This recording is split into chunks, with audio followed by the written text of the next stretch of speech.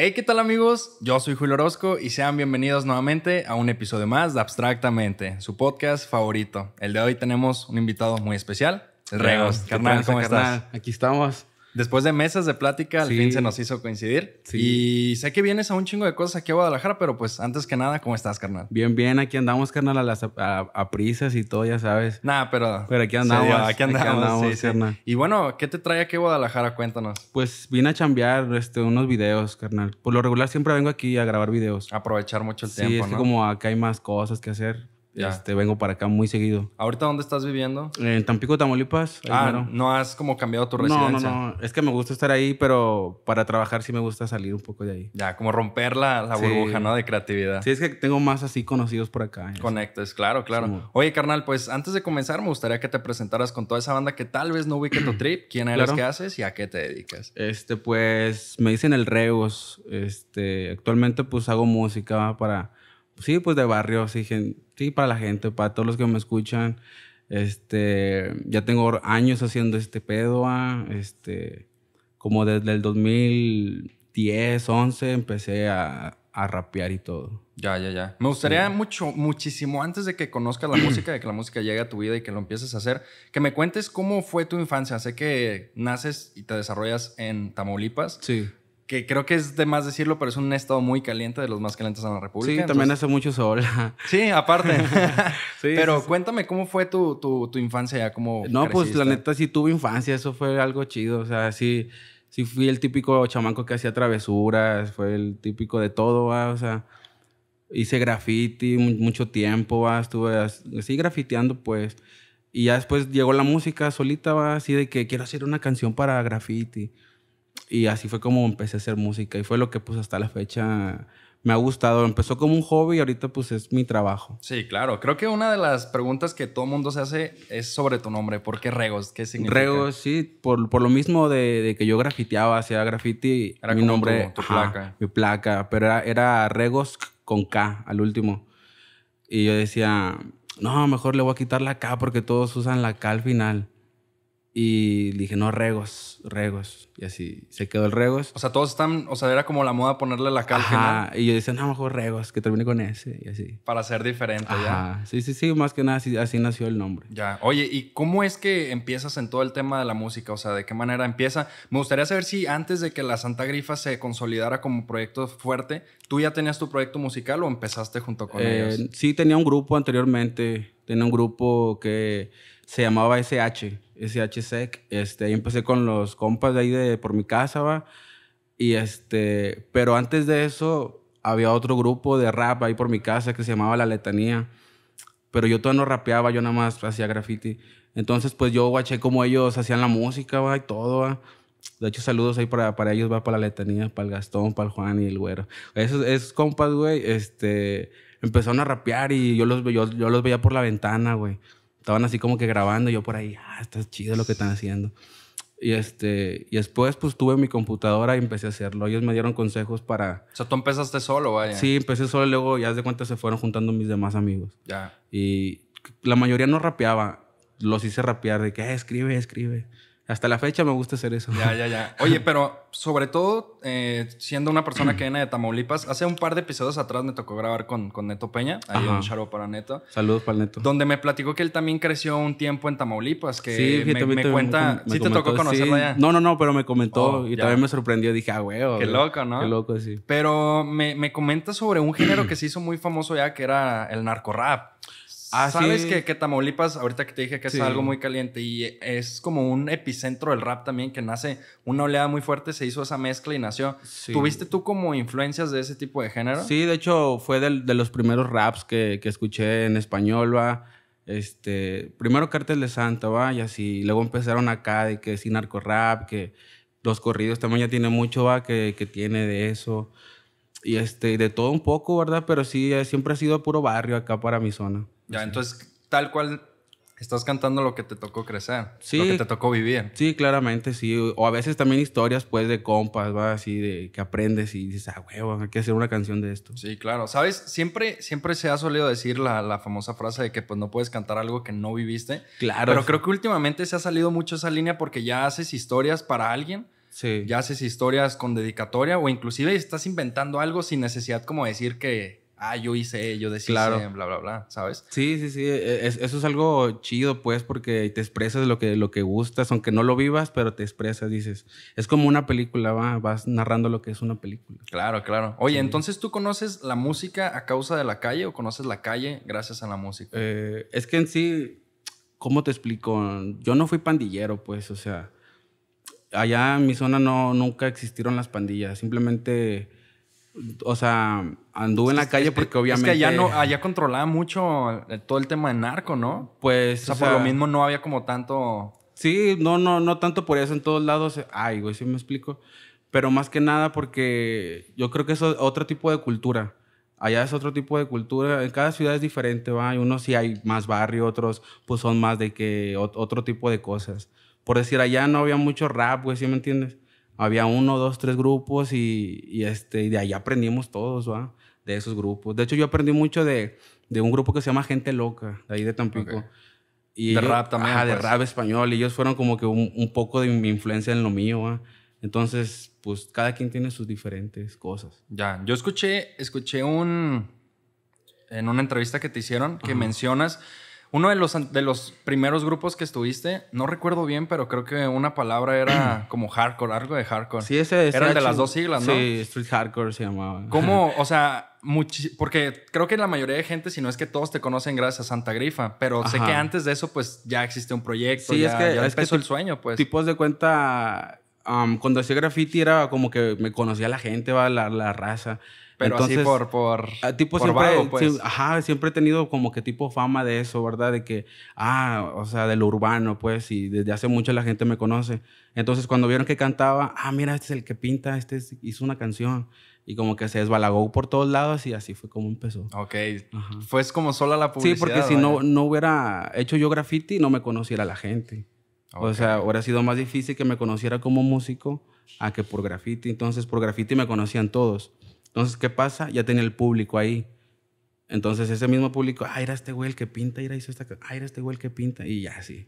Ya. Entonces fue como se desbalagó todo. Ya. Oye, quiero hacer un paréntesis. Creo que uno de los de los misterios, vaya por todo internet en, tema de, rap, es la famosa pregunta de qué ha pasado con Santa Grifa, ¿no? Realmente ni siquiera me quiero meter como en temas de, armar polémicas ni eso, ni, ni siquiera hacerlo amarillista, pero sí, o sea, yo, yo he escuchado música de Santa Grifa y real si te metes a YouTube hay canciones que hice hace siete, ah, ocho años, o sea, es algo que formó realmente parte de ustedes. Es, es parte de mi vida, ¿me entiendes? Es parte de, de todo, de mi crecimiento, de, de aprender muchas cosas, o sea pues la neta sí es algo bueno, por eso siempre cuando, cuando veo eso que tú dices hace 12 años, hace 7 años, digo, a huevo, esto es lo que me gusta, ¿sí me entiendes? Fue prácticamente lo que consolidó, bueno, yo siento, ¿no? Que fue lo, el grupo en el que te maduraste, que, te formaste bien como rapero, para ahorita ya salir con un proyecto cuando, como solista. Fue cuando dejé de trabajar, ¿me entiendes? Cuando empecé en Santa Grifa fue cuando dije,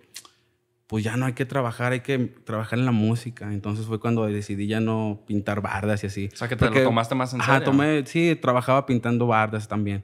Porque pues también me gusta el graffiti, entonces pintaba que escuelas y eso. Y entonces, ajá, entonces ya después salí de ahí y nos dedicamos a la música. Nos hablaron de que no, que cuánto cobran para un evento, San Miguel de Allende.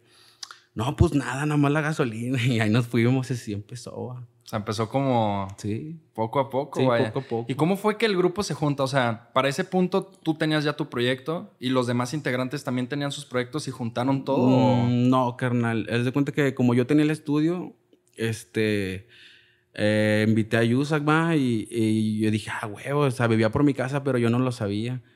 Y, ¿Toda la Santa Grífara de Tamaulipas? Sí, todos son de ahí, nada más que unos viven más lejos que otros y... Y, este, y pues a Yusak le tocó, o sea, que, que estuviéramos cerca, pues, y, y, como yo tenía el estudio, pues cayó a grabar a mi casa y de ahí surgió el grupo. ¿Cómo lo conociste? ¿Por la música también? Sí, por la música. de cuenta que empezamos tres compas, ¿va? era el Centavo, el Yusak y, yo, ¿va? Y entonces, por medio del Centavo, yo conocí a Yusak. Ok. Y ahí empezamos el grupo. Yo tenía, te digo, tenía otro grupo y yo les dije, ¿saben qué? Voy a empezar un proyecto nuevo.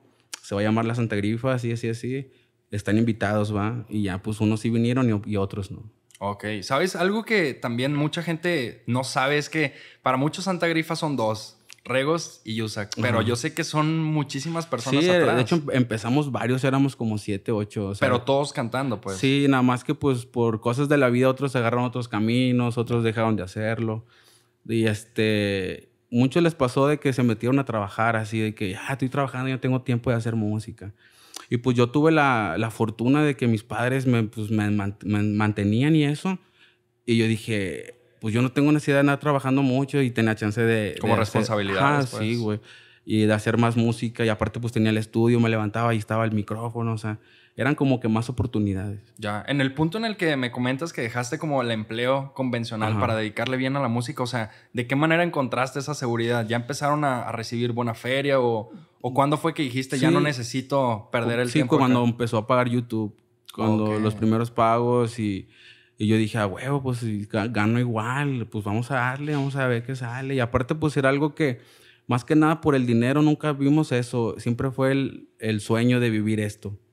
O sea, muy, muy fuera del dinero, ¿sí me entiendes? Ya. Entonces era como que me vale que no tenga, pero quiero andar ahí. Y eso era. Algo, algo gracioso que, que, me gustaría tocar. Digo, no es algo que pueda tocar con todas las personas, pero es una persona que empezó hace años y tal cual le ha tocado toda la evolución del rap. Desde que el hip hop estaba mal visto, no sé, de que ibas en la calle, escuchabas hip hop y. Sí. Ay, va este pinche De hecho, me tocó, me tocó las primeras canciones de, así de, de las mías me tocó mucha crítica, demasiada crítica, demasiada, así de que subió una, una canción y ya, pinche marihuana, pinche no sé qué, pinche sin futuro, pinche no sé qué, pinche.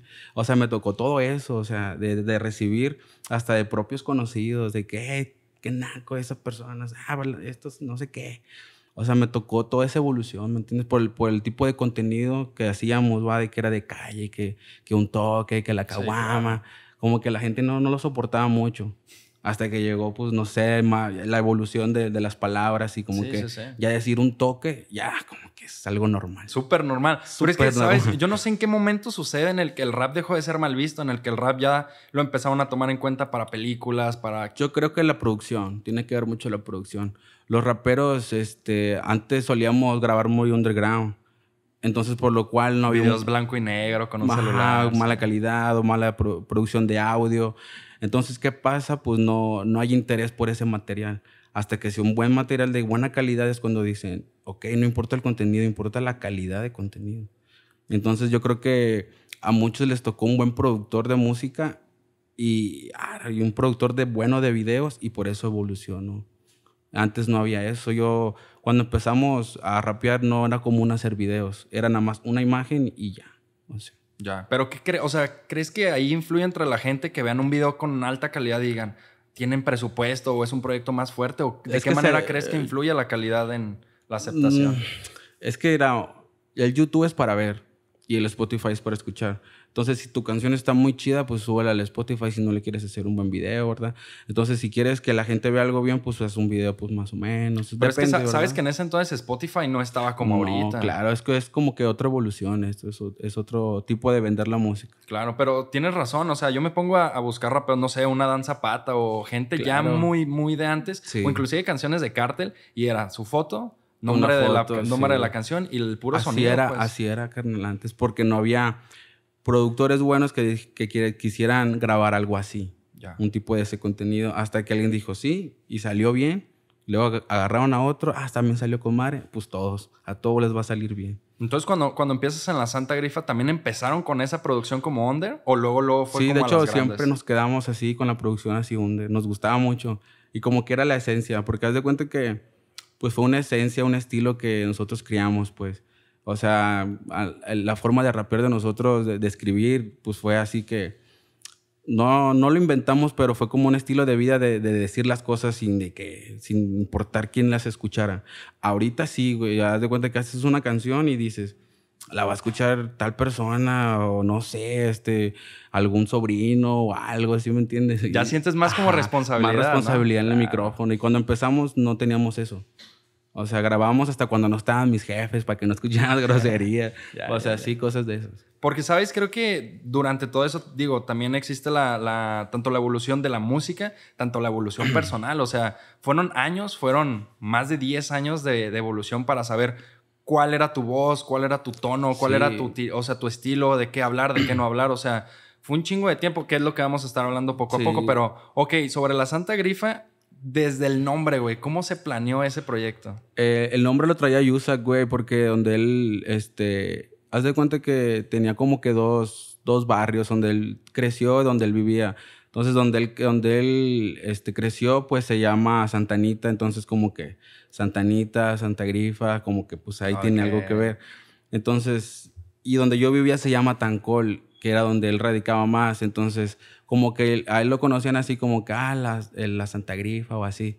Entonces él me platicó de eso, ¿verdad? Del, del proyecto que traía y pues él, yo hacía pistas y él dijo, no, pues a huevo, ese es el estilo que, que a mí me gusta. Y a huevo yo, yo también y le dimos. Entonces fue como que hicimos un buen equipo y ya los, las los demás integrantes, pues unos nos rapeaban, pero les, les, decíamos, eh, pues escríbete algo, escríbete algo a ver qué tal. Y así empezamos, o sea... Se o sea, se podría decir que el proyecto empezó unos que sí cantaban y otros nada más que estaban como amigos, apoyando al proyecto, sí, Sí, carnal, sí. Ok. De hecho, los que son mis amigos ahorita también, que no, que no son rappers, graban conmigo, ¿me entiendes? O sea, porque les digo, eh, estando pisteando, les digo, eh, ¿podemos escribir una rola o qué? Y los pongo a escribir y así. o sea, como que nos late eso. Sí, claro. ¿Cómo fue la reacción de la, de la gente al escuchar el primer tema ya de la Santa Grifa? O sea, si hubo buena reacción o si fue...? Pues yo creo que fue una canción que se llama Volver a Ser por el tipo de letra que metíamos muy fuerte de que queríamos ser un niño de nuevo. Entonces, tan solamente decir eso te eriza la piel, ¿me entiendes? Y fue como que el, primero, el, el primer tema que les valió las groserías. Fue como que, ah, dijeron que no sé qué, pero hablan de que les falta el papá o que les falta esto. Se sintieron identificados. Ah, y todavía, todavía, yo me siento muy identificado con eso. Ya, ¿cuál crees que sea la canción que dio como un punto de aparte, como el parteaguas de la Santa Grifa? Yo creo que la del Diablo anda suelto. ¿Sí, crees? Yo creo que esa rola, porque es la que, o sea, a donde voy me la mencionan. Como que eso, esa es la, la que marcó la diferencia o el estilo de la Santa Grifa. Esa, pues es una canción, yo creo que todo mundo no sabemos claramente, pero esa canción en cuanto sale sí tiene como, o sea, empezaron a ver que tenía más vistas de lo normal o fue al, al paso de los años. Fue cuando hicimos un, un video, pero no era oficial de la canción. Simplemente, este, ¿cómo se dice? hicimos una firma de autógrafos y llevamos a un camarógrafo y empezó a grabar lo que hacíamos, firmar este, autógrafos a la gente. Y como un blog, por así Como un blog. Y cantamos tantito la canción y se subió. Pero no fue el video oficial. Entonces eso salió mucha, muchos morros y muchas personas y como que se desbalagó el videíto y eso fue lo que, ah, no, estuvo chido. De hecho, ¿sabes? Investigando vi que la canción está subida en dos canales, una como con, no sé, 60 millones, que es creo que es el de la Santa, y otro que tiene como 70, güey. Ah, no sé. O sea, es otro aparte, pero se subió el mismo año. No sé si... si... Mm, no sé, la neta. Como que... Es que antes cuando empezábamos teníamos como dos, tres canales porque no... Uno lo hacía Ayusa, otro yo y otro el Centavo, así. De hecho, la, la primera canción que hicimos que se llama Seguiré Fumando está en el canal que se llama SH, el que era mío. Ahí subimos la primera canción de, de Santa Grifa, pero le pusimos este, Yusa, Rego, Centavo, así.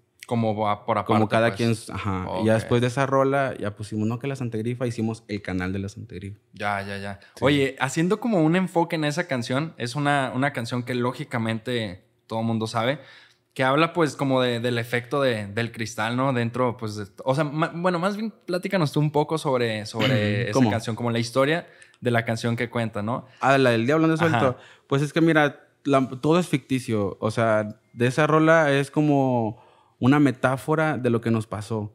Haz de cuenta, yo en mi, en mi parte yo digo que el diablo me abandonó. Eh, o sea, como diciendo, ala, me pasó algo muy culero y te fuiste, pinche vato culón o pinche vato. O sea, que no tienes huevos, o sea, porque no estás conmigo para todo. Porque ese día, pues, haz de cuenta que tuve problemas ahí en la casa de que estás haciendo mucho ruido, ya váyanse de aquí, no sé qué. Y yo entiendo porque mis papás siempre han trabajado. Y, y haz de cuenta que me enojé pues con mis papás de que no, no me corras, déjame grabar aquí. Y apenas empezábamos como que a hacer otra canción, la de Noche de Loquera, estábamos haciendo esa rola. Y nada más de repente nos, nos fuimos de mi casa y luego a lo agarró la poli así porque estaban fumando. Y a otro compa lo corrieron del trabajo y como que, güey, qué pedo, este día anduvo suelto el diablo, güey, porque todo nos fue mal, güey.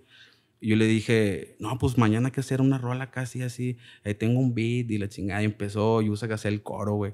De hecho, tengo un preview cuando lo empezó a hacer y, me grabé con el celular. Y ya desde ahí empezamos a escribir, pero a base de que nos pasó algo malo, pero no precisamente lo que dice la canción. Ya. Simplemente de que, por decirte, es una alucín de cada quien y cada quien se inventó lo suyo. Ya, ok, pero creo que, o sea, hablando más como a lo de la letra de la canción, pues es una persona como que, así como dices, que estaba con el diablo, pero lo dejó abajo y luego lo incitaba como a hacer cosas que no. Ajá. Pero yo tomaba como una referencia al diablo que lo asimilaban con el cristal, ¿no? Como, no, no, no. No tiene nada que ver. No, no tiene nada que ver. Porque no sé. de hecho, nosotros somos, o sea, pura mota, nos gusta la mota. Pero es que hay como partes en las que, y de hecho sí, sí hay mucha gente que tenía como, por eso dije, se lo vamos a preguntar. sí, sí, no, no, no. Porque sí decía de que me dejaste solo, pero voy a robar para tener más, o sea, que, que tenías esa voz. Entonces yo decía, a ver, a lo mejor o es el alucín de sí tener como ese ángel en el hombro de que te dice, o sí estar como bajo algo. Como, pues. si anduviéramos bien anestesiados. Sí, sí, sí. Sí, porque así fue la inspiración, más de que andábamos mal y nos fue mal, así hace cuenta. Sí, claro. Entonces, pues cada quien se inventó su historia, va pero a base de algo real, ¿me entiendes? ¿Sabes ¿Quién, quién se iba a imaginar que el hit, el himno de la Santa Grifa, haya salido de un momento culero? sí, nos estábamos mal, güey. O sea, sí nos pasó algo mal a todos. Y, o sea, no mal, viéndolo bien de que, ay, que te diga algo que, que le bajes a la música, no es nada grave. Pero en su momento, pues eran las ganas de que estamos haciendo algo chido. Como la frustración. Ay, que no me quiero ir del cuarto y no, ya sálganse porque huele bastante a mota. y yo entiendo, porque es la casa de mis jefes y se respeta y todo. Pero como me gustaba hacer eso también, pues yo entendí y les dije, ¿saben qué? Pues mi mamá dice que ya le paremos al pedo, vámonos. Y pues ya me salí yo bien enojado de la chingada y no, qué pedo. O sea, peleándome pues como un morro. Sí, sí, sí. ¿Y cuando te sales ya hiciste tu vida independiente o...? No, no, no, no. Yo seguí viviendo con mis jefes un tiempo. Hasta después ya empecé a vivir solo. Ya. Sí, ya pues cuando el proyecto iba mejor, me imagino. Sí, casi cuando ya tiene esta estabilidad y todo el pedo. Sí, claro. Si ponemos como una, una línea en un punto que sacan la canción de El Diablo anda suelto, ¿qué pasa después? O sea, empezaron a ver más interacción, empezaron a cobrar más. No, primero fueron críticas machín. Ah, sí. sí, de que, ah, que pues, esos güeyes lo que cantan y que no sé qué. O sea, fueron muchas o sea, los primeros comentarios de esas canciones. Sí, de hecho, si en mi face yo me meto publicaciones del 2015, 2014 que sacamos esa canción este, hay críticas ahí machina en mi, en mi de que hicimos una rola que se llama El Diablo en Sueta, ah, qué pinches vatos, no sé qué. O sea, sí me tocó mucha crítica demasiada. A todos, a todo el grupo nos tocó mucha crítica. Verga, ¿sabes? Creo que la crítica es un. Es el peor enemigo de una persona que quiere destacar porque. Pues, yo creo que es. Es motivación también. Es que depende cómo te lo tomes, güey. Porque hay gente que escucha la crítica y deja de hacer lo que hace. Y hay gente que escucha la crítica y dice, y se enfocan en eso. Te voy a callar. Los claro, carnal. O sea, ¿de, qué manera tú lidiaste con la crítica? Haciendo lo mejor. Pero luego, luego, o sea, eh, desde tu primer mal comentario, ¿querías demostrarlo o sí te empezaste No, es que, es que lo, lo, chido fue que no cambiamos. O sea, de que si decían, ah, ¿cómo se viste? Nos seguimos vistiendo igual fue hacer, no fue hacer caso a la gente, güey. Si lo hubiéramos hecho caso, a lo mejor hubiéramos cambiado el estilo o no sé qué. Pero siempre fuimos, o sea, como, así como empezamos, así mero. O sea, mantener como real, vaya. Ajá, entonces la gente dice, eso, es rap real. Y eso es lo que se vendió, ah, eso es, está chido. Pues. Claro. ¿Aún recuerdas cuál fue tu primera compra, como hablando en tema de inversión, o sea, de cuando te cayó una feria fuerte por el proyecto? Eh, sí, me compré una camioneta. Me compré una camioneta, este una expedition viejita, pues. Pero yo pero ya ibas y venías. sí, ya anda. De, sí la empujaban ahí a veces, pero, pero digo, o sea, todo bien. O sea, la neta era algo que ni pintando las bardas iba a poder. Y dije, a huevo, y ya llegué con mi mamá y le dije, ¿sabe qué? Si me quiere correr aquí ya me puedo dormir. sí, claro, claro. Oye, cuando empiezas con todo este tema de la música, ¿en ningún momento se te pasó por la mente alguna inseguridad o algún miedo de que y si no pego y si después tengo que volver a buscar un trabajo normal, ¿qué, ah, es va que no, nunca, nunca lo hicimos de que, ay, vamos a pegar y ganar de eso. Simplemente queríamos, o sea, como ser reconocidos, pero sin ganar dinero.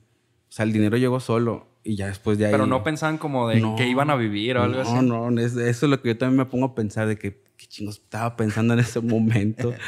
Pero yo, yo decía, huevo, pues no tengo hijos, o sea, de hambre no me voy a morir. Ya cuando uno tiene hijos es cuando empieza a madurar y es cuando empiezas a hacer las cosas más, más bien, güey, ¿sí me entiendes? Pero cuando no tienes a quién rendirle cuentas, como que uno anda por la vida sin valiéndole queso. Claro, claro. ¿De qué manera encuentras como esa seguridad contigo? Para, digo, es, es, una pregunta muy importante porque hay gente que no encuentra como el punto, que tienen canciones grabadas y no se animan a sacarlo, pero ¿encuentras esa seguridad como para hacer público tu proyecto? Como que, o sea, sí tengo bastantes canciones que no han salido. No, no, no. O sea, lo que voy a decir en un inicio, antes de empezar tu proyecto como, como el Regos, ¿de qué manera dices, eh, este es el día de sacar mi primera canción, me siento bien, siento seguridad de que le va a ir chido? O sea, ¿cómo encontraste esa, esa seguridad? Cuando me gusta a mí la canción, o sea, cuando digo, ah, la, la reproduzco otra vez y me gustó como le di, digo, si a mí me gusta, le va a gustar a la gente. Y yo pienso que sí. Claro, claro. Cuando empiezas con, con, todo este trip, ¿empiezas también como con este tema de los tatuajes? Yo tenía puros tatuajes aquí, o sea, que no se vieran de la playera. Y yo dije, pues si algún día nos pasa algo, pues ah, yo nada me tatué y me empecé a tatuar y vi que de ahí. De hecho, me hice este tatuaje que dice un santo grifo que muere. Cuando me hice este tatuaje, este, empecé a hacerme todos los demás, ¿sí me entiendes? Porque ya, ya se veían mucho.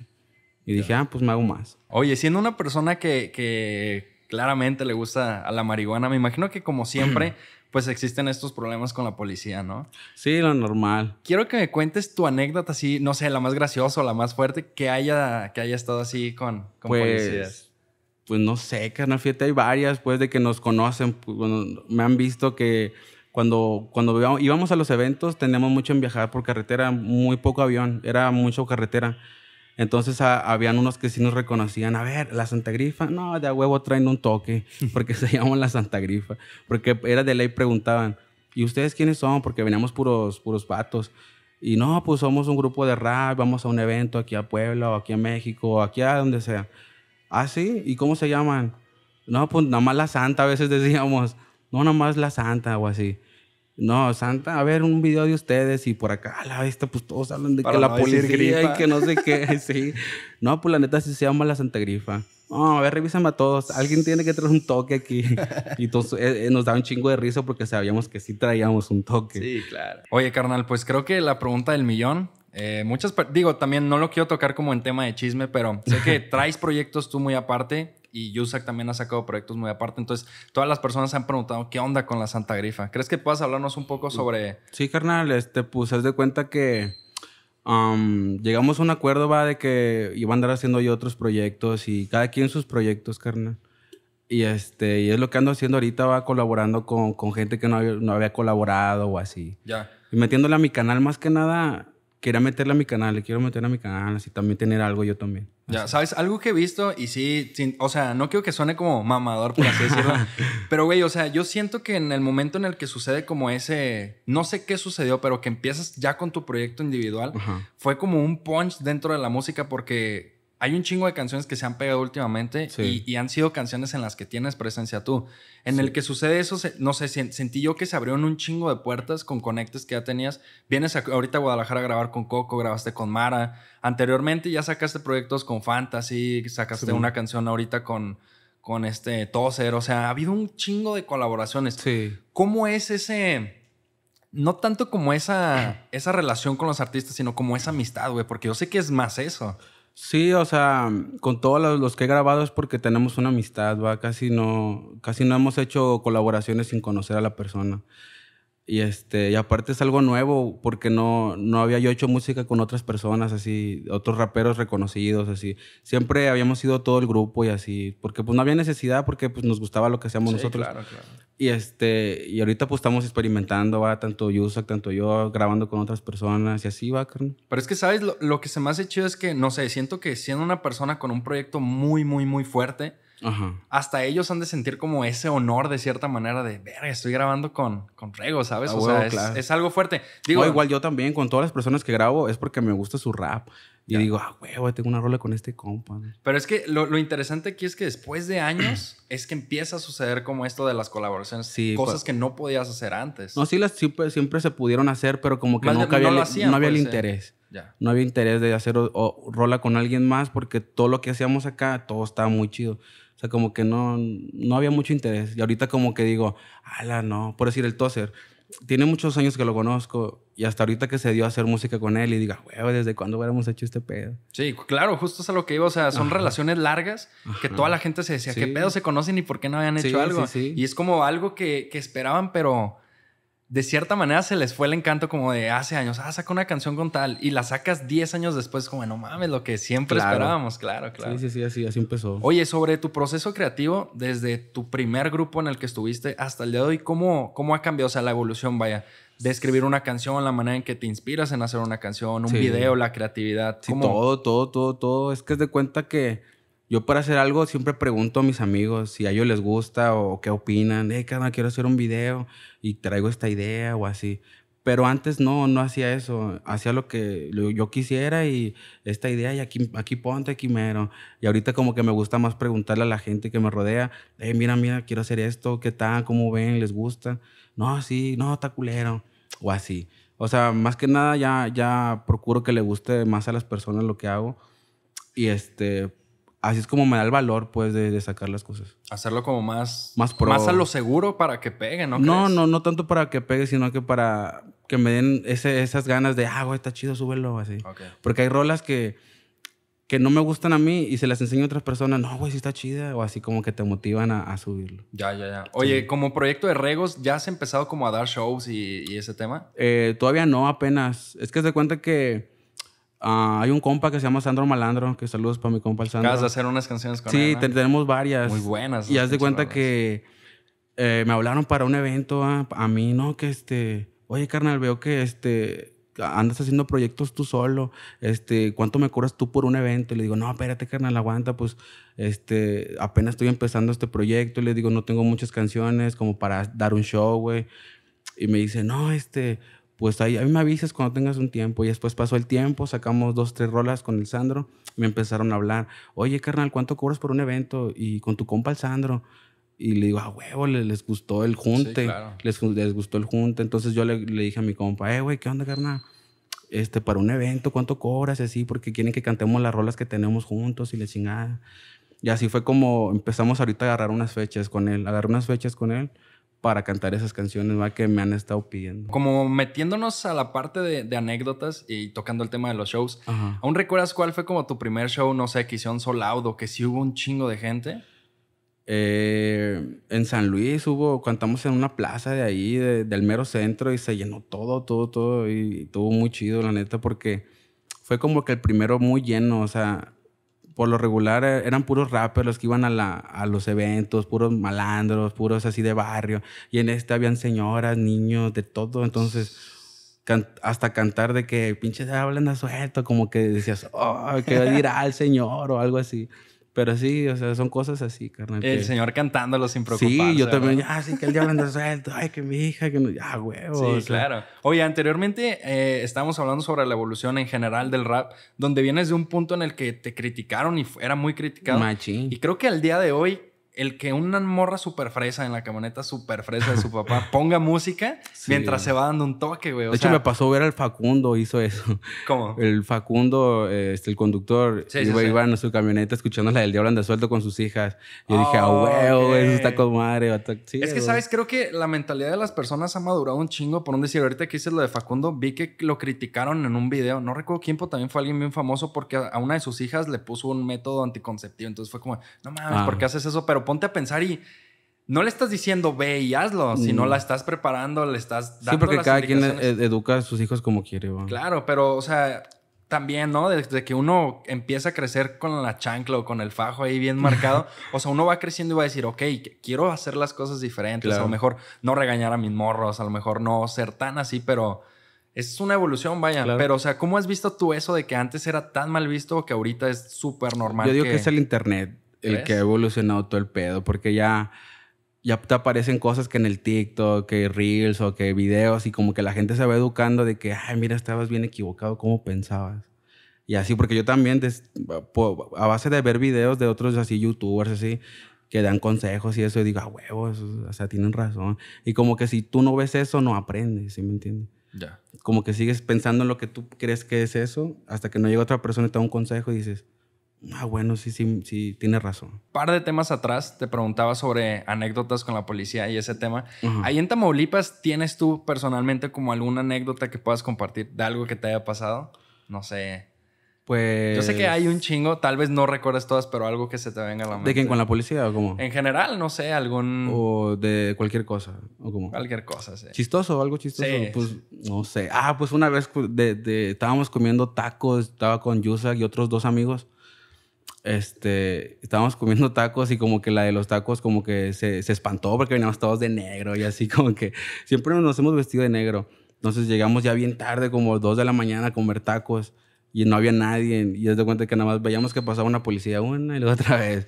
Y no, nos van a revisar, güey, nos van a revisar porque andamos bien locos. Y yo creo que, que fue eso. Y nos sacaron de ahí de los tacos. Ya tenemos los tacos servidos. Eh, venga, les voy a hacer una revisión y una chingada. Verga. No, jefe, pues todo bien, va, no tenemos nada. Ah, bueno, ya. O sea, fue algo chistoso porque comimos con un chingo de pena, ¿sí me entiendes? La sí, neta, claro. sí. Oye, a ver, yo quiero saber, porque fíjate, es- últimamente me ha pasado mucho. Tra- acabo de agarrar un carro y está polarizado machín. Entonces Ándale, es eso bien también. común, güey. Claro, sí. Pero quiero saber tú, a ver, ¿cómo lidias con un policía de una revisión? Tanto vas en la calle y, oye, una revisión, o vas en el carro, en las dos situaciones. Sí, no, pues si me bajo y me presento primero, ah, no, pues soy un rapero, así, así, así, así. Ah, no, sí, te conozco. La mayoría me ha tocado que me conoce, sí, Ok. la mayoría, sí. O sea, ya es como un pro, ¿no? Sí, Vaya. sí. Pero antes, o sea, no sé. Antes de eso, La sí. situación, digo, también, digo, para aprender, la gente que está escuchando así, ¿cómo, ¿cómo es la manera adecuada, vaya? Porque sé que lamentablemente existe el estereotipo y por Ajá. verte tatuado, por verte de Ah, negro, sí, por verte es así, otra, es te paran porque te paran, Sí, güey. claro, y eso es algo que también, igual hasta la fecha, todavía sigo lidiando con eso a, a cualquier lugar que entro, va por los tatuajes. güey. Luego en mi ciudad no es muy común que la gente esté tatuada. O sea, sí hay varias bandas que está tatuada, pero no es muy común. Yo aquí veo a cualquiera que está tatuado o así, pero allá no es muy común el tatuaje. Ya. ¿Sabes? Hace un par, un par de, de temas atrás me comentas que, o sea, estábamos hablando sobre el sacar la música, que no lo haces tanto como por pegar. O sea, que haces una canción y, ah, esta va a pegar. O sea, no es como el enfoque principal, pero ¿cuál es como ese combustible hacia seguir haciendo música? porque de esto vivo. Haz de cuenta, pues si no hago música, pues no, no vivo de la música. Entonces eso es mi motor, va a ver que si algo me está faltando es porque no le estoy echando ganas. Y si no tengo para comprar esto es porque no estoy haciendo las cosas bien. Y eso es como que la motivación. Y eso es por, por lo que ando aquí, porque pues si no estuviera yo en mi casa acostado y la chingada. Y no, pues ahí que me conozcan como el Regos, ¿no? Pues hay, hay que trabajar y como que eso es lo que me motiva. Por decir, ahorita no hemos dormido mucho, andamos sobre la casa haciendo lo que tenemos que hacer. Ayer hice cuatro videos y ahorita voy a hacer otros tres, así. Entonces como que es cansado, ¿me entiendes? Y eso es lo que me motiva, el, el hambre, carnal. Cuando no tienes hambre, no, no puedes, este, no le echas ganas, carnal. Cuando no tienes hambre, pues dices, aquí hay para comer, no hay pedo. Pero cuando tienes acá ganas de salir adelante, esa es la motivación. Claro. Y no, no, tenemos una frase yo y mi compa que me acompaña, la de, yo no vine a dormir, haz de cuenta. Sí, claro, eso es aprovechar machina el Ajá. tiempo. Fíjate, últimamente ha pasado mucho de que eh, la música, y lo he platicado así con artistas, ha perdido como esa esencia de cierta manera, porque ya se ha hecho todo comercial, como hacer esta canción para que pegue en TikTok, de que Ah, hay que hacerle una melodía medio pegajosa para que hagan un baile y se pegue y bla. Claro. Entonces, ya de cierta manera se pegó como el significado de hacerlo de corazón. Es que uno de- se tiene que acoplar a lo, a lo nuevo. La gente que piensa, no, que lo haces por moda, es porque pues ellos no lo quieren hacer. Pero yo siento que tan solamente este podcast que estoy haciendo contigo, yo antes no me animaba a hacer muchas entrevistas y yo decía, ¿por qué no? Ahorita hay que hacerlas, hay que hacerlas. O sea, es inseguridad de la gente, va.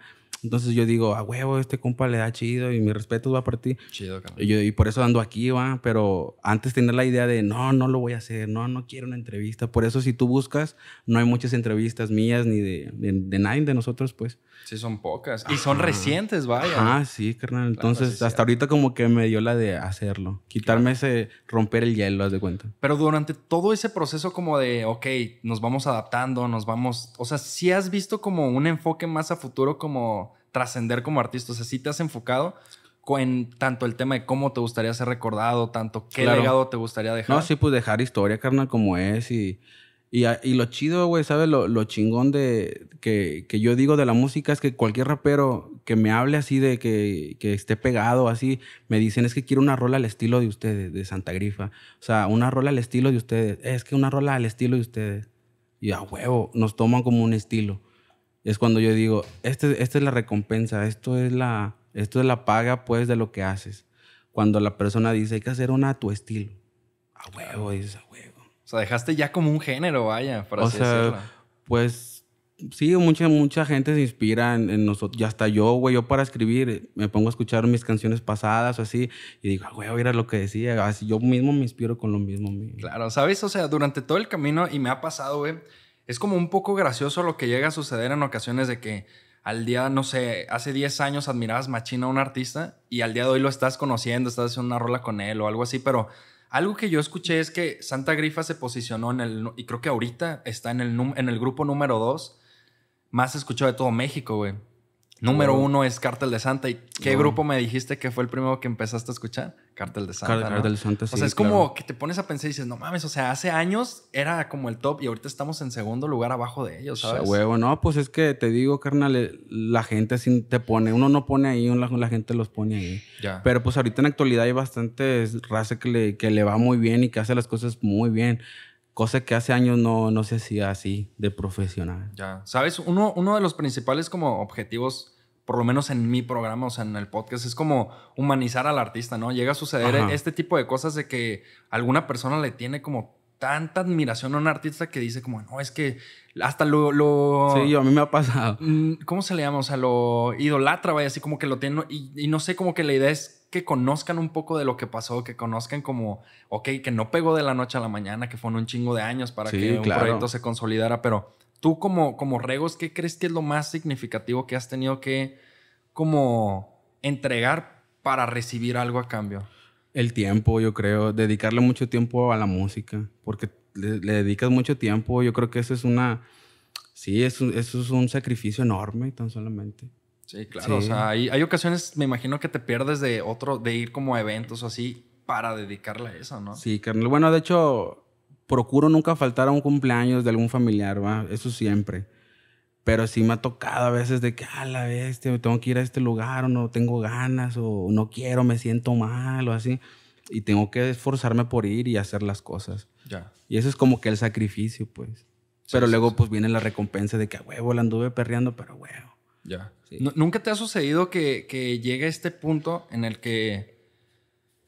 Es que es gracioso porque a mí me pasó y a gente también lo ha pasado, a lo mejor y a ti también, pero que llega un punto en el que, no sé, te propones algo y lo consigues luego, luego, y luego vamos por otra meta. Creo que al fin de cuentas el proponerte metas es como también como una motivación a, a veces lo, que, lo que es improvisado a veces como que es mejor. Sí, también. A veces, porque cuando uno dice, quiero llegar a un millón de, de, de views, haz de cuenta, pues no lo llegas. Pero cuando no lo piensas, lo llegas y dices, claro, claro. Ajá. Siento que a veces es más un juego de azar este pedo. Sí, pero, o sea, ¿no te ha pasado que, que, haya como momentos en los que hayas dudado como de, ¿y si estoy en un buen camino? ¿Y si esto ya no es lo mío? O sea, como momentos así que estás a punto de tirar la sí, yo creo que todo el mundo le pasa, carnal. Es como la crisis de, todo de todos, de que, ala, estoy haciendo lo mismo siempre, siempre, hago lo, siempre hablo de lo mismo, siempre hago lo mismo, lo mismo. Pero es como cuando vas a un restaurante, tú ya sabes lo que te gusta. Entonces, si a veces cambias y no te gusta, ya no lo, ya no lo consumes y por eso siempre procuro hacer lo mismo, pero a veces poquito diferente a veces. Hay, hay, que, hay que moderarle, de cambiarle. No siempre es lo mismo, pero a mí me gusta ser igual, güey. O sea, como soy, güey, mi estilo y no cambiarlo. Sí, claro. ¿Sabes? Algo que, que platiqué con el Mara justamente fue que personalmente siento que para que alguien sea un artista grande y que tenga mucho que contar, creo que lo, lo único que no tienes que hacer es como darte una vida aburrida. O sea, sí, no puedes ser una persona que esté en su casa todo el día acostado y escribiendo un chingo. O sea, tienes que salir, tienes que, sí, vivir, vivirlo. Claro. claro, claro, sí. De hecho, a veces, aunque estés solo en la casa, si, si agarro una cerveza o algo, ya empiezo. O porque fumar, pues siempre estoy fumando, ¿va? pero cuando empiezas acá a agarrar una chela o empiezas acá a escuchar música o así, te entra la inspiración de hacer la música. Sí, claro, o sea, te fluye, vaya. De hecho, antes de grabar me pongo a escuchar música y, canto las canciones y ya cuando, cuando dices, a huevo, ya tengo ganas de grabar, ya te pones a, escribir y grabar, a escribir y grabar. Y así. Ya. Oye, ¿qué crees que es lo más, más gratificante que has recibido por la música, o sea, por el sueño, vaya? Fui a Ecuador y... ¿Por la música? Sí, por la música. Nos contrataron a un evento para Ecuador y fue como que vivir otra experiencia por el tipo de comida. Yo llegué pidiendo tacos y ahí no, no, no, no, era muy común que vendieran tacos. Ah, un choque cultural, claro. Sí, claro, porque fui al mero mero Ecuador y pues ahí comían que, que el pollo con arroz, así como que en caldo. Y, sí me gusta, sí, sí me gusta, claro. Pero pues yo llegué acá en la noche y, hay unos taquitos acá de trompo. Ah, ¿qué es eso? acá, ¿sí me entiendes? Entonces como que fue una experiencia chida. Porque me aventé como una semana y media. Entonces fue todos los días de que, ay, güey, ¿qué vamos a comer, güey? O íbamos a la carnicería y te daban el, el, pedazote de carne y tú lo, tú lo tienes que acá filetear y así. O sea, fuimos a vivir otra experiencia que no estamos acostumbrados para nada. Claro. Y eso es como que un, algo chido que, que, ha pasado con la música, llegar hasta allá, güey. ¿Y cómo fue? O sea, justamente, o sea, es un país muy lejos de... Bueno, Ecuador está abajo, ¿no? De México. Eh, sí está... Sí, pues es, es literal la, la línea de... sí. de la división, pero ¿cómo, ¿cómo recibieron el rap mexicano allá, güey? Pues yo pensé que yo, yo cuando llegué al pueblillo que llegué, yo dije, Ay, ¿a poco hasta acá nos escuchan? ¿O cómo llegó hasta acá? ¿Sí me entiendes? Había más gente afuera del evento que adentro. Porque era como que más acá, de más, más pueblo, ¿verdad? De que, pero era muy fan, güey. O sea, yo me acuerdo que, que, me fui hasta la reja a verlos. ¿Qué onda? ¿Qué está? ¿Por qué no entran? No, es que está muy caro y la chingada. Y yo dije, a huevo, pero ¿cómo, ¿cómo me conoces? O sea, se sintió muy chido, la neta. O sea, aquí en México se siente muy chido que te reconozcan, van todos lados. Pero ya cuando vas a otro país y ya, huevo, qué pedo, qué, qué anda haciendo acá yo, así me entiendes. Sí, claro. Oye, sobre el proyecto de, de, Regos como tal, el actual proyecto que tienes ahorita, ¿puedes hablarnos un poco de cómo lo formaste y un poco de lo que se viene? Es que te cuenta que siempre, como siempre he tenido estudio, pues siempre me ha gustado masterizar las canciones y pues yo siempre he tenido proyectos solo, ¿va? nada más que antes no los sacaba mucho, a veces ahí los dejaba o así. Y ahorita pues los estoy sacando, va por lo mismo para que no se quede. De hecho, incluso canciones nuevas que tengo ya tienen años que las hice o así. Ok. Entonces, un poco de lo que se viene como de tu carrera, no sé, ¿se viene algún disco, algún EP, algo que nos puedas adelantar? Quiero, quiero planear un disco, ¿va? quiero planear un disco mío solo primero y luego así como que uno de feats o así. Pero más que nada ahorita quiero darle como que más publicidad a mi canal, así que, que esté activo porque no, no estaba activo. Tengo poco que lo empecé a activar un poquito más. Pero ya era un canal que ya tenías viejo, pues. Sí, haz de cuenta que llegó a, los 100 mil solo, güey, sin hacer nada, haz de cuenta. O sea, y yo dije, a huevo, pues la gente le, le quiere más música, pues hay que dar más música. Y pues hasta hace poquito empecé a meterle más, va, para pues porque la gente vio que pues se suscribió sin darles nada, güey, ¿me entiendes? Recibiste tu placa y todo el Sí, sí, sin, sin yo meterle muchos videos así, nada más que lo que no quería, pues lo subía. No, no era que me gustara. O sea, porque ya tenía mi proyecto acá en Santa Grifa, pues hasta la fecha soy muy fan de eso. Pero pues ahorita dije, huevo, aquí también yo hay que hacer algo de, de mi nombre y vamos a meterle. Y por eso hasta ahorita me, me, dieron, me entraron esas ganas de hacerlo. Ya, sabes, creo que de cierta manera y pensando, o sea, como juntando todas las piezas, un, un, rapero sí podría como denominarse como una persona que está emprendiendo un proyecto, como un emprendedor, vaya. Claro. En el punto en el que tú sabes cuánto quieres ganar, o sea, sabes que si te está yendo bien, te puede ir mejor si le dedicas. Claro, más, sí, sí, te puede ir mejor de cierta manera. Sí, sí, lo he aprendido con el paso del tiempo. Digo, ala, pues hoy subí un video y pues sí me fue bien, pero el mes pasado subí dos y me fue mejor. Y digo, no, pues hay que subir tres o así, o sea, uno se va dando cuenta que cómo le va mejor. Sí, claro. Como la parte detrás de tu proyecto de Regos, tienes como un equipo que, que, te ayude como con la parte tanto creativa, tanto con, la, con el marketing de la canción o todo te lo estás aventando ahorita? Eh, en cuestión de, de, de, publicidad, sí, güey, sí me estoy aventando yo solo, pero en cuestión de cuando viajo así, jalo dos, tres compas, al Irán y al VIX, mis compas, va, que ellos son los que me toman fotos así detrás de cámaras o cosas así, ¿verdad, carnal? Ahorita mi compa Lil Pax también viene conmigo y anda, o sea, sí, traigo mi equipo de, de que andan conmigo, pero haz de cuenta que la publicidad sí me la doy yo solo, va, carnal. Haz de cuenta que no, no tengo marketing, nomás. Lo, la gente que me conoce, ahí, ahí publico mis canciones. Ya, porque sabes también no sé, me, da risa que llegué a escuchar, no como entrevistas, sino recopilaciones de que quién es Regos y su proyecto musical nuevo. Y decían de que no, es que lo quieren firmar en esta disquera, pero ah, no quiere. O sea, sí ha habido como propuestas para disqueras nuevas. Sí, carnal, sí, varias gente sí me ha dicho, va, pero pues es de cuenta que ya tengo rato en esto, es de cuenta, si fuera a lo mejor un rapero nuevo, Wow, yo creo que igual y sí me gustaría estar en, en, alguna. ¿Pero por qué? ¿Porque sabes lo que hay ahí o para como el crecimiento de artista nuevo? Sí, es que te, sí, te, te, ayuda para todo, ¿verdad? Para crecer y todo, pero pues es de cuenta que quiero aprender a hacer el negocio. O sea, si alguien me lo hace, nunca voy a aprender. Y si yo lo hago ahorita dos, tres años, como que aprendes y eso es una profesión. Sí, claro, claro. O sea, vas como puliéndote por así Sí, es como si yo, por decir, me gusta masterizar las canciones. Pero siento que no, no le sé ni al 100%. Yo quiero aprender más de eso porque eso es una profesión. Y me, me, inspiro mucho en Dr. Dre, ¿sí me entiendes? Ya no es rapero, pero es productor. Y digo, a huevo, o sea, tienes que aprender esto. No siempre te va a grabar un productor y nunca vas a aprender a grabarte tú solo. Entonces yo a mis amigos, casi de todos los que tengo, les digo, mira, güey, así se graba, pónganse a grabar en su casa, cómprense una computadora. Porque si tú aprendes a hacerlo, puedes trabajar también de eso. No nada más, no siempre vas a cantar. Ya tienes que como jugar varios papeles dentro de, ¿no? Pero relacionados a... Sí, entonces, si yo me meto hacia un, a un lugar que ya me van a hacer todo a mí, pues yo no voy a aprender este, ese pedo. Claro, claro. Y pues ahorita he, aprendido con, con gente que está en disqueras que me cuenta dos, tres cosas. Mira, así está el pedo, algo así, así. Y como que aprendes, ¿me entiendes? Y eso es lo que vale es lo que me gusta. Claro, lo importante. Oye, pues, Regos, llegamos al final del episodio. Digo, ahorita por cuestiones de tiempo, ahorita en chinga grabas llegué muy tarde, güey. muy tarde, güey. Pero, ¿crees que, pues, para despedir, me gustaría que dieras un consejo para toda esa gente que nos está escuchando, que está picando piedra detrás de un sueño? ¿Qué es lo mejor que pueden hacer para que lo consigan? Lo primero, lo primero yo creo que es tener un estudio en tu casa para que practiques todos los días. Eso es lo primero y, y tenerle fe y decir, preguntarle a tus amigos, ¿les gusta? Háblenme al chile, ¿les gusta o no les gusta? Y que se inspiren mucho en, raperos. Una cosa es inspirarte y una cosa es copiarles. Entonces, si tú te gusta mucho un, cantante, pues intenta igualarlo como él y vas a aprender a cantar de volada y, vas a obtener resultados rápido. Pero si tú le juegas al papel de que yo, yo puedo solo, yo puedo solo, vas a tardar más y el proceso es más rápido, más tardado. A que si te compras una computadora en tu casa y pum, pum, tú te grabas como sea, eh, aprendes más rápido y como que eso te motiva a seguir haciéndolo. Ya, y aparte de la música, o sea, para cualquier otro sueño, no sé, sea algún trabajo, alguna carrera, ¿qué es lo mejor para que consigan como esos sueños? Eh, echándole ganas, carnal, pues es que no hay de otra. Yo creo que echándole muchas ganas y aferrarte a lo que quieres y decir, a ver, este día no tengo para una torta, o no tengo para una coca, no tengo para unas papitas, ¿qué estoy haciendo mal?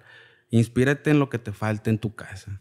Si ves que te falta una tele más chida, pues tú di, voy a trabajarlo doble. A esto, a esto viene el mundo porque a eso venimos a trabajar. Yo siento que eso viene el ser humano a trabajar, no viene otra cosa más más que a trabajar y a vivir la vida. ¿va? Entonces yo creo que eso es la motivación, pues, de que tú te des cuenta de lo que te falta. Y si dices, ah, este pantalón ya no me queda, y si no tengo para comprarme otro es porque algo estoy haciendo mal. Claro, y a bajar de peso. Ajá. No, no, no, o sea, para comprar otras cosas tienes que trabajar, ¿sí me entiendes? Y como que eso es la motivación, ¿me entiendes? Claro, o sea, como poner bien en la mesa como lo que es. Tal cual, o sea, ser realista, vaya. O sea, autocriticarte, decir, huevo, me falta esto, es porque, ¿por qué no lo tengo? Es porque estás haciendo algo malo, así. Más que nada, ponerte verte tú de allá para acá, así. Claro, claro. Pues, carnal, llegamos al final del episodio, de verdad. Carnal, un muchacho, aquí estamos. Y pues para despedirte, encuentran en redes cómo? El Regos, el Regos, al final SG, este, todo verificado está en todas las páginas y ahí me pueden encontrar. Muy bien. y pues bueno amigos, llegamos al final de este episodio. Ya saben, si les gustó, me lo hacen saber dejando un like. No olviden en la parte de los comentarios dejarme a qué persona les gustaría que tuviéramos de próximo invitado. Y pues todos los links de las redes de Regos, de las mías las encuentran abajo. Pues bueno amigos, esto fue un episodio más. Yo soy Julio Orozco y nos vemos en el siguiente episodio. Quedó, carnal. Carnal, chido, eh. No, soy muy malo para hablar, pero. pero quedó bien. No, es que no estoy acostumbrado a hacer muchas entrevistas, pero no. Pero es porque todo esto es nuevo, ¿no? Sí, es nuevo, güey. Pero, ¿de qué manera vino como esto de. Ah, ya vamos a empezar a darlas o. Como, ah, pues ¿de qué manera de que nunca Por igual que los fits, güey, de que. ¿Por qué no los, no nos daba? ¿Por qué no lo hacía? Ahorita también vamos a hacer. Como calar algo nuevo. Ah, pues. güey, sí, para mí es algo nuevísimo, güey. O sea. No, no tengo entrevistas, güey. Tengo años en el rap, ¿me entiendes? Sí, sí.